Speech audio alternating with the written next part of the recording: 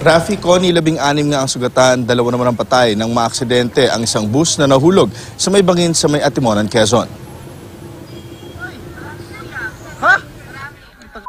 Hindi magkadamayaw ang MDRRMO at BFP ng Atimonan sa dami ng kanilang nire-rescue mula sa naaksidenteng bus at mga truck kagabi. Triads na, triads! Mula sa pinakamalala! Tingnan nyo kung sino yung pinakamalala! Ay! Control bleeding! Control bleeding dito! Control bleeding! Dito, dito, dito! Ano? Minamadali rin nila ang pagsagip dahil na rin sa pwesto ng nahulog na bus sa bangin. Lalayo tayo sa ano? Lalayo tayo dito sa labas! Baka hindi bigyan dumaos-os! Tayo madadamay pa! Panigurado lang kuya, tamo! Eh, yung point niyan, no? Baka bagsak yan! Bukod sa maaari pang dumasdos ang bus, tumutulo rin ang gasolina nito. Hindi pwede mawala yung natin sa bayan. Tumawag ka ng BFP Pagbilaw. BFP Pagbilaw, sabi mo Santa Catalina.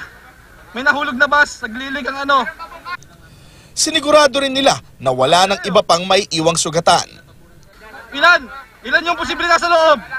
Ilan yung posible nasa loob? May tao pa po ba dyan? Pahanap sa paligid. Ang ilan sa mga sugatan tinakbo mula sa ospital sa Atimonan papunta sa Lucena Memorial Medical Hospital. Tulad nila Lola Sofia Harque, Lolo Danilo Harque at apo nila sa tuhod na si Matthew De Jesus na tatlong taong gulang. Punta kayong Manila para magpagaling. Ano ito naman nangyari sa inyo? Iniinda ni Lola Sofia ang sakit sa dibdib at mga bukol sa muka na dahilan kung bakit hindi niya mabuksan ang kanyang mga mata. May nakita akong sumabog. Dalawang sabog yun. Eh, nagising na lang kami. Gumulong-gulong na lang yung ano, yung bus pababa. Hindi ko alam kung ano nangyari, ano, nangyari. Napasugod naman ang mga kaanak nila mula sa Maynila. Ayon kay Lirio Harque, nagpapagamot sa Maynila ang kanyang ina na si Lola Sofia at nagpusundo sa kanyang asawa na si Lolo Danilo para makauwi ng probinsya upang habulin ang selebrasyon ng mahal na araw. Makaano kasi niya nanay ko, maka... Maka Diyos, kaya maumpisahan yung mahal na araw naman. Naririto rin sa Lucena Memorial Medical Hospital ang driver ng trailer truck na siyang nakatumbok sa isa pang truck at bus. Kritikal ang lagay ng driver na si Frankie Abalos. Yung driver kasi apparently had ano, uh, decreased level of sensorium nung dumating. Uh, so he was intubated and was for strict observation kasi yun, hindi siya makausap na maayos, patulog-tulog. And also, yun, may meron siyang depressed, ano, mga I was thinking of a possible skull fracture. Labis naman ang pag-aalala ng pahinante niyang si Joshua Hersano na abot langit din ang pasasalamat sa kanya. Wala namang matinding sugat at tinamo si Joshua dahil nakatalon siya. Pangalawa, pangatlong sigsag. Parang nag-loose na siya eh. Hindi na masyado nagkumapit yung brake niya. Ngayon, sabi ng driver ko, Josh, wala tayong brake.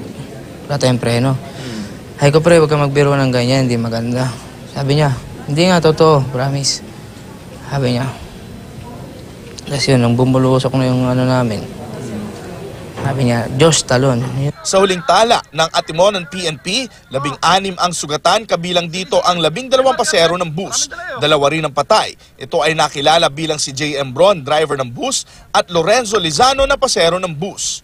Patong-patong na kaso naman ang hinaharap ni Frankie Abalos na ngayoy kritikal ang lagay sa ospital.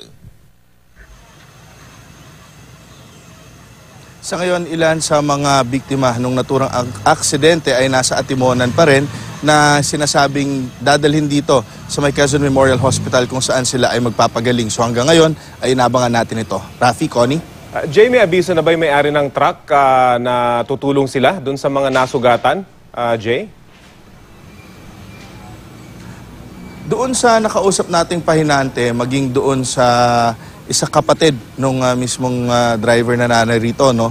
Ah, hinihintay pa nila yung pagdating ng kanilang amo. Kung ah, nakipag-usap na ba, ayon naman doon sa kaanak na nagpunta rito, nung ah, maglola nga, ay ah, wala pa sila nakakausap. Rafi? At ah, Jay, ah, yun na ba yung tinutumbok ng mga investigador? Talagang uh, nawala ng preno yung ah, truck kaya nadisgrasya at nakatumbok siya nitong ah, bus na nahulog naman sa bangin na Jay. Patuloy naman yung investigasyon na kanilang ginagawa no pero dahil na rin siguro sa pag-amin nga nung ah, nabubuhay at hindi na halos nasaktan na pahinante nung truck ay ah, matibay na ebidensya ito na ang may sala nga ay yung ah, mismong huling truck. Ngunit ulitin natin under investigation pa ito. Rafi. At Jay, yung ah, pinangyarihan ng ah, aksidente, eh, yan ba'y ah, accident ah, prone at ah, meron namang sapat na signages at meron bang harang yung ah, gilid ng kalsada, ah, Jay? Well, balita natin no, doon sa mismong area, ang kadalasang uh, aksidenteng nangyayari ay yung ah, mga mabibigat na vehicles kung saan nawawalan ito ng preno tulad na lamang nung trailer truck.